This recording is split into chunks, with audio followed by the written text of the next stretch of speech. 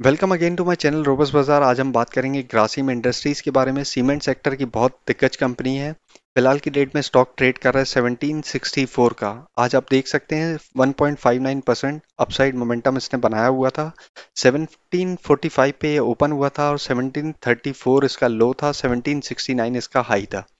पिछली क्लोजिंग इसकी बात करें तो 1736 की थी। अब हम इसके चार्ट पे चलते हैं। इसके चार्ट पे हम अगर हम देख रहे हैं तो मैंने 30 मिनट्स का चार्ट लगा रखा है, जिसमें आपको थोड़ा सा क्लियरली दिखाई देगा। इस स्टॉक ने इस ट्रेंड लाइन को ब्रेक बिल्कुल भी नहीं किया है। अभी इसी ट्रेंड लाइन पे ट्रेड कर रहा है। एक अपसाइड मोमेंटम बना रहा है। आठ तारीख से लेके इक्कीस तारीख के बीच में ऑलमोस्ट ये स्टॉक एटीन थर्टी और सेवनटीन ट्वेंटी फाइव के बीच में ही मूव कर रहा है।